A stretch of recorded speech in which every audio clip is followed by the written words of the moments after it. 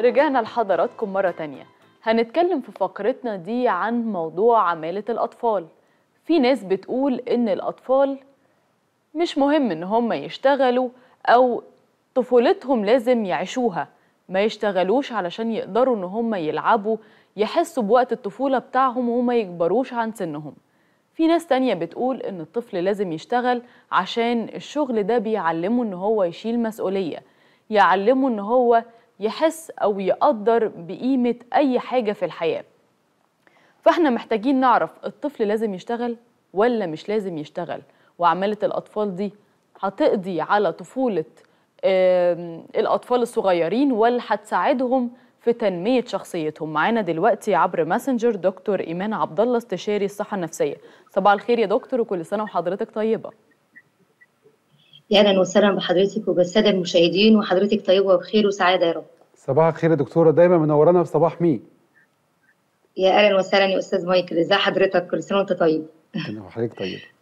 دكتور خلينا نتكلم في الأول عن موضوع عمالة الأطفال. يعني إيه مصطلح عمالة الطفل؟ وده شيء مضر ولا مفيد للطفل؟ اولا بشكركم جدا على الموضوع المهم طبعا دايما إحنا بنقول حتى طفل طفل إحنا بن يعني بيبقى محتاج رعاية محتاج اهتمام محتاج نمو نفسي آه، نمو جسدي نمو اجتماعي. ولكن لما بنقول مصطلح عمالة الأطفال أنت هنا حضرتك بنحط عبء كبير على الطفل في سن غير مؤهل ليه إطلاقا لا جسديا ولا نفسيا إنه يعمل. لو الطفل ده عاوزينه يعتمد على نفسه زي ما حضرتك ذكرتي في المقدمة ويبقى آه، اعتمادي ويبقى مسؤول بأشياء أخرى مسؤول عن دراسته مسؤول عن أكله مسؤول عن نظافته الشخصية مسؤول عن تدريباته الرياضية لكن مش مسؤول يبقى إن هو مصدر مادي للأسرة أو هو يتحمل أعباء مادية للأسرة لأن ده مش دوره. هو دوره دور التكوين النفسي والجسدي إلى أن يصل فوق ال 18 سنة. قبل كده إحنا بنعتبر نوع من أنواع الانتهاكات النفسية والجسدية والاجتماعية للطفل. آه، وده طبعا إحنا معظمنا بنشوف إنه آه، عمالة الأطفال دائما بتبقى في الأسر الفقيرة. آه ليه هنلاقي أب مهاجر الأسرة في حالات طلاق؟ آه فبيصبح هنا الطفل مهين لأسرته بدل ما هو يتربى في جو آه في انتماء وفي آه نوع من أنواع السلامة النفسية ومصدر الأمان. هو هنا بيبقى بيته الأول هو الشارع اللي هو العمل أقصد آه يعني خروجه للشارع بشكل آه غير سوي. يعني طبعا بتختلف من من نوع العمل ومن الوقت اللي بيشتغل فيه حاجات كثيره جدا بتضر بالطفل بسلامته النفسية والجسدية حقيقي يعني بسبب العمل. دكتورة في ناس هتبقى سامعانا دلوقتي من أولياء الأمور ممكن تقول إحنا الولد بيشتغل في سن صغير علشان خاطر ممكن يلعب مثلا في الشارع يضيع وقت يعمل أي حاجة. طبعا ورا ورا هذا السؤال ده بيكون ما بين الاقواس ان طبعا الهدف الأول وفي الأخير إن هو يكون في مصدر دخل للبيت. يعني الولد يشتغل ويشيل مسؤولية دون إدراك إن الولد هيحصل له إيه بعد كده. إيه رأيك يا دكتور؟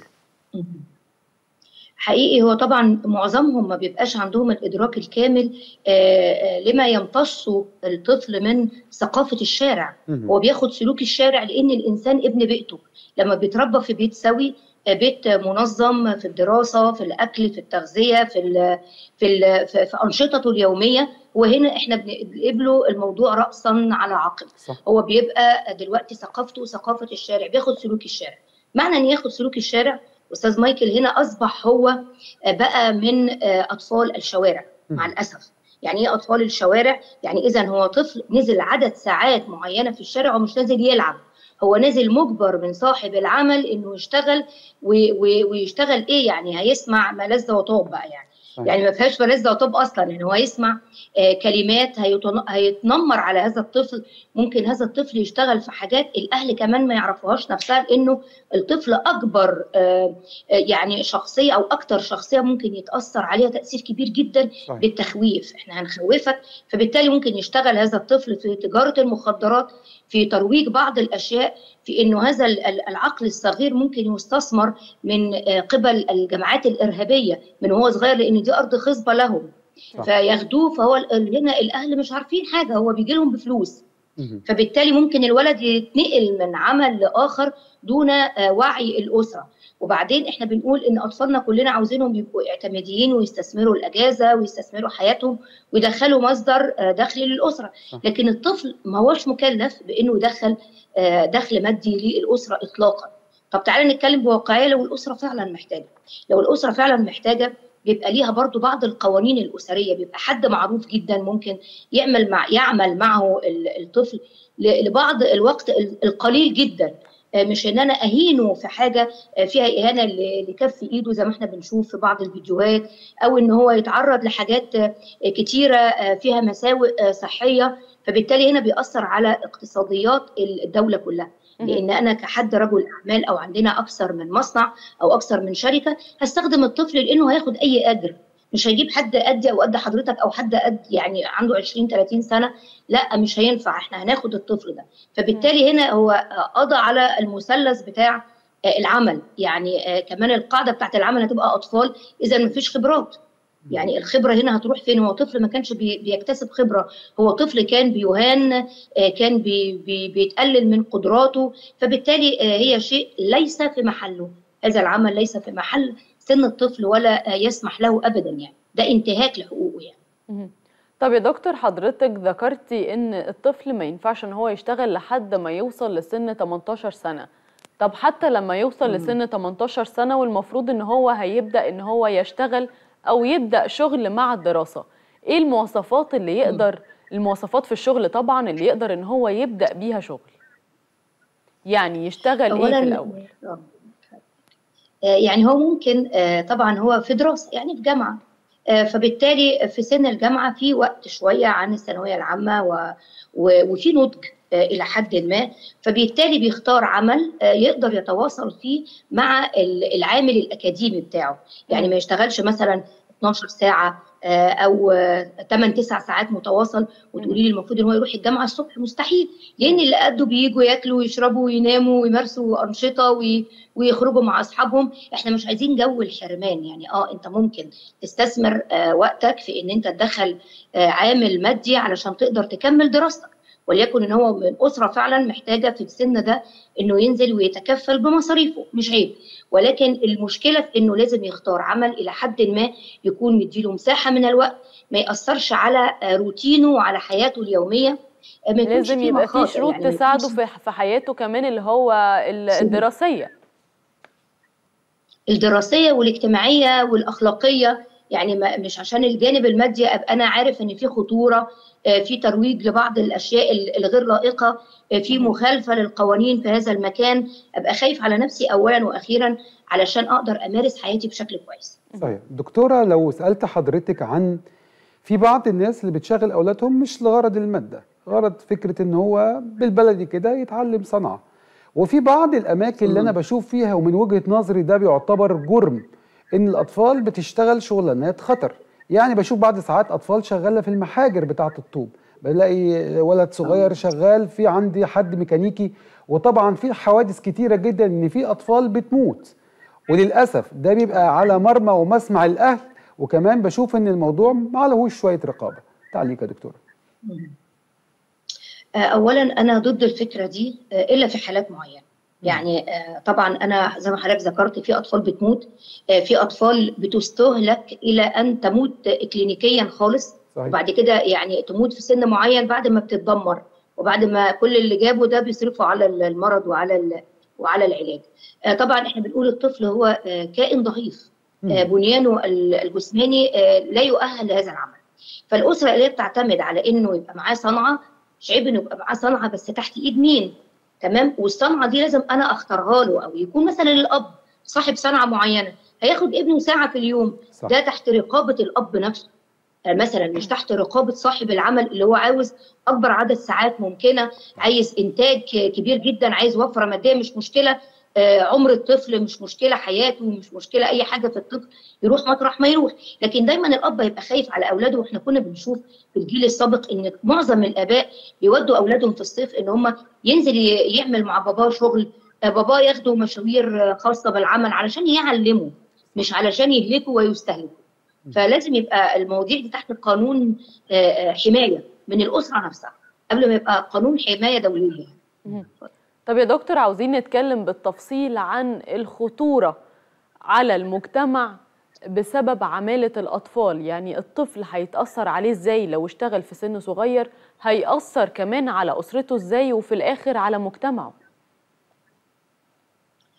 اولا آه، يعني خلينا برضو واضحين بإنه الجانب اللي بيتأثر جدا هو الجانب النفسي آه، الجانب الجسدي الجانب الاجتماعي. النفسي إذا هنا إحنا لعبنا في النمو النفسي بتاعه فبقى أصبح مهزوز نفسيا آه، عنده بعض أنواع الاضطرابات ومنها الاكتئاب وده اللي الناس ما تعرفوش إنه ممكن يبقى طفل عنده 8 سنين أو 10 سنين عنده اكتئاب. آه، يتحول هذا النوع لما يكبر شوية يبقى في المراهقة إلى آه، شخص سيكوباتي يعني معادي لمجتمعه وبيبص للمجتمع نظرة عدائية جدا يمشي يخرب فيها لأنه هو إحنا يعني انتهك آه، في صغره فبالتالي عايز يرد هذا النوع من الانتهاك للآخر. هتلاقيه طول ما هو ماشي عنده الفكر العدواني والانتهاكي لحقوق الآخرين لأنه حقه انتهك وهو صغير.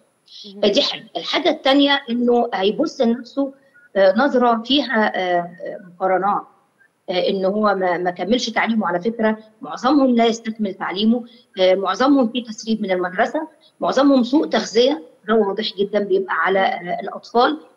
مجتمع فيه تفكك لأن الأسرة أساسا أسرة مفككة. اللي بتخرج الطفل في هذا السن إنه يعمل هي أسرة مفككة فبالتالي بيبقى نظرته للمجتمع مجتمع مفكك وهو يبقى حامل عداء زي ما قلت لحضرتك.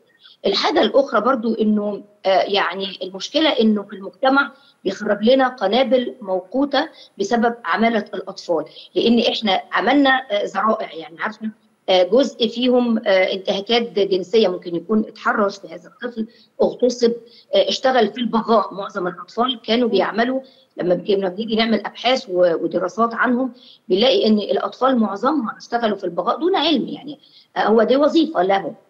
آه، الآخرة إن هم آه، آه، آه، يعني في قوانين حرمت كمان الإتجار بالأطفال. يعني الأطفال بقوا تجارة سلعة تباع وتشترى. وتنتهك ينتهك جسده آه، يموتوا أطفال ويبيعوا أعضائهم. الحاجات دي كلها هو بيتعرض ليها دون وعي منه. فبالتالي إحنا هنا بنخرج قاعدة كبيرة جدا ويبقى عدد كبير جدا.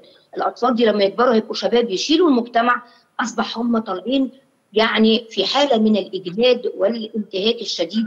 فبالتالي مش هيبقى عندنا شباب آه، يقوموا بالعمل المنوط به آه، دكاترة مهندسين معلمين إعلاميين. كل ده هتلاقيه مفيش. منين؟ ما هو لا يمكن واحد يبقى آه، آه، نزل عمل آه، عمال يشم كله ويشتغل نجار ويشتغل في حاجات في في في, في البناء وحاجات كتيرة جدا مضرة لصدر الطفل. وإحنا بنشوف طفل أحيانا بيموت في مكان العمل. صحيح. فاذا إحنا هنا القاعدة بتبقى ضعيفة جدا. صحيح. دكتورة وإحنا في الأيام دي في الحوار الوطني وبتكلم عن هنا مؤسسات الدولة وتكاتف قوى الشعب من القوى السياسية والأطياف المختلفة من النقابات والعمال والشباب وكل القوى السياسية تتجمع حول مناقشة أمور اقتصادية وسياسية وأيضا اجتماعية وأنا بتكلم عن آه، الحديث عن هذه الظاهرة اللي تعتبر ناقوس خطر بيدق آه، في مصر في الوقت الحالي رأيك إيه يا دكتورة؟ أنا بشكرك يا أستاذ مايكل لأن أنا كنت بالفعل كمان مشاركة في آه، توصيات للحوار الوطني آه، الأسبوع ال- ال- السابق يعني قبل العيد مباشرة وكنا بنتكلم عن موضوع العنف الأسري. فأنا حطيت جزئية عماله الأطفال آه، ضمن العنف الأسري لأنه ده عنف أسري يعني إيه؟ يعني أنا بعمل له نوع من أنواع الإهمال. أنا أهملت في الطفل في كل جوانب حياته. فبالتالي نكون إحنا بنتكلم عن العنف فإحنا بنخرج إحنا بنعامل الطفل بعنف فبالتالي بنخرج عنف ضد المجتمع. يعني فالأسرة هي أساس كل شيء. آه، بنقول إنه آه، الدولة بتناقش فعلا قضايا مهمة جدا ولما تهتم الدولة بالأسرة هي هنا اهتمت بجوانب المجتمع كله. صحيح. لأن الأسرة هي اللي بتخرج إما أطفال أسوياء أو أفراد أسوياء أو أس- أفراد غير أسوياء. بتبدأ بملف المرأة وختان المرأة وزواج القاصرات. وعمالة الأطفال وانتهاك حقوق الأطفال. وكل كل العدوان اللي ضد الطفل والمرأة بيصدر دلوقتي والدولة متصدية لبعض ال- ال- القضايا الحاسمة اللي ممكن تبقى مصدر تهديد للأسرة وللمجتمع. فإحنا بنتكلم في قضية امن أمن وطني أو أمن قومي بالفعل عماله الأطفال بتشكل عامل خطير جدا ضد الأسرة وضد المجتمع. إن لم تعالج من خلال طبعا الحوار الوطني وبرامج حضراتكم آه، التي تعرض مواضيع مهمة جدا. فأنا مشكوره جدا على الجزئية دي إنه فعلا فعلا الملفات دي بتطرح وبتطرح بشكل جيد وبينتظروا مننا توصيات كمتخصصين. فأنا يعني تحدثت في هذا الموضوع إنه تجرم هذه الموضوعات تجريم بالقانون بغض النظر عن إنه لازم يبقى في جزء إرشادي وتأهيلي. يعني في اسر زي ما حضرتك ذكرت ممكن ما تكونش عارفة المخاطر النفسية والمخاطر الجسدية لهذا الطفل أو ممكن يروح فين. يروح في أنهي جماعة يصفروه يعملوا اللي يعملوه. فإحنا من خلال الوعي الأول ننشر الوعي ثم نعمل قوانين حاسمة ضد الاسره يمكن عجبني جدا جملة لرئيس السيسي لما بيقول لما تكون الأسرة هي مش مصدر الأمان والحماية لأطفالها دورنا إحنا ينهي لما فعلا يبقى الأسرة هي اللي بتخرج طفل يعمل وهي الأسرة اللي بتعمل لي زواج قاصرات بتعمل لي الأم أو أو المرأة المعيلة أو طبعا زي ما شفنا الغارمات كل دي قضايا تصدرت لها الدولة بالفعل. وابتدت تاخد شكل حاسم ليها ولكن أنا دايما قبل ما أقول الدور الحاسم أقول لازم الدور التوعوي. مهم جدا. وده صحيح يا دكتور. لازم كل أسرة تخلي بالها من أطفالها وكل أسرة يعني تستثمر في أطفالها. تحط كل استثمارهم في أطفالها علشان لما يكبروا يكونوا ناس بتأثر في مجتمعها بشكل إيجابي مش سلبي. ما يكونش جواهم أي أي كره من مجتمعهم أو أي أو أي شيء سلبي لمجتمعهم. فإحنا بنشكر حضرتك دكتور إيمان عبد الله استشاري الصحة النفسية. بنشكر حضرتك يا فندم على المعلومات القيمة دي. وبشكر كمان حضراتكم على متابعة حلقتنا وبشكرك يا مايكل. شكرا. بشكرك يا مارينا وبنشكر حضراتكم. يا رب تكونوا استفدتوا النهارده. اتكلمنا في موضوع مهم جدا وهي يعني الأطفال اللي بتعمل في سن صغير وهذه الظاهرة ظاهرة خطر جدا. كده خلصت حلقتنا النهارده. استنونا بكرة قبل الميعاد بساعتين. صباح الخير عليكم وصباح بيه